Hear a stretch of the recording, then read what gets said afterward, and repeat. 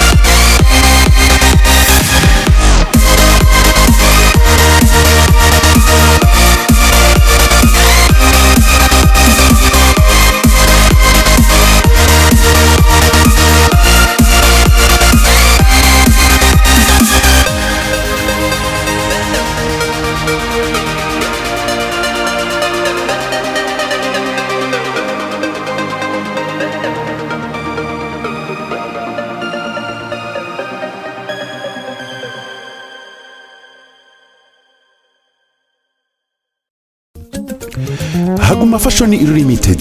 Muri haguma fashion limited aba niyo kampani ya mbere yiyemeje kubambika neza mu kaberwa. Tubadodera neza ku giciro gito kandi mu gihe gito cyane mu kanya nk'ako guhumbya. Muri haguma fashion limited barakwambika neza ukaberwa erega kuberwa kwanyu n'iryo shema ryacu. Ikaze kuri haguma fashion tv aha ni ho ubona moderi nziza tubadodera wahungukira kandi n'ubumenyi bujyanye n'umwuga wo kudoda. Erega ntabwo bikiri ibanga. Cyo ngaho nawe ihera ijisho moderi nziza zigezweho tubadodera. Muri haguma fashion limited turavumbura turahanga turi abanyamwuga mu byo dukora. Ku buryo ijisho ry'ukurebye twakwambitse ritakuvaho da. Akarusho iwacu muri haguma fashion limited hamwe n'impano n'ubuhanga n'ubumenyi twibitsemo turacukumbura tukanoza neza umwuga w'ubudozi. Iyo niyo mpamvu dushobora kugukorera moderi y'inzozi zawe utarabona ahandi. Ku bari hanze y'u rwanda namwe ntabwo twabibagiwe. Turabadodera mu gihe gitoya mu kanya nko kuguhumbya ku mpande zanyu ziba zabagezeho da? Uramutse wifuza kutuvugisha cyangwa kutwandikira cyangwa kuduha komande. Ni uguteranya magana abiri na mirongo itanu karindwi umunani umunani mirongo inani na kane mirongo itatu na gatatu mirongo itatu na kane. Muri haguma fashion limited. Kuberwa kwanyu niryo shema ryacu.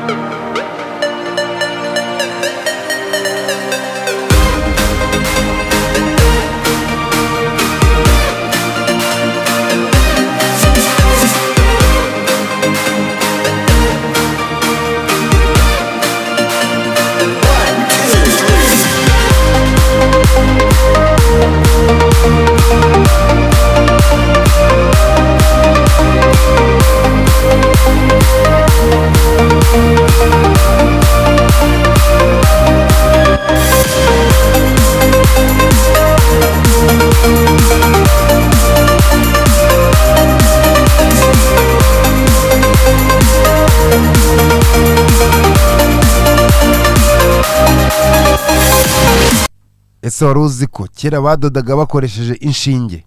Izo nshinge ntabwo zabaga zikoze mu cyuma nk'inshinge mubona uno munsi. Oya. Icyo gihe inshinge zabo zabaga zikoze mu magufa ndetse izindi zikoze mu mahembe y'inzovu. Ikoze mw'ibyo bikoresho mw'ibyo bikoresho akaba ari zo bakoresha badoda imyenda yabo bambaraga. Abantu ba kera bari bafite ubuhanga bw'akataraboneka ku buryo izo nshinge bazitunganyaga bakoresheje amagufa n'amahembe y'inzovu kandi bagakora ikintu kiri buze kuba cyabafasha kudoda.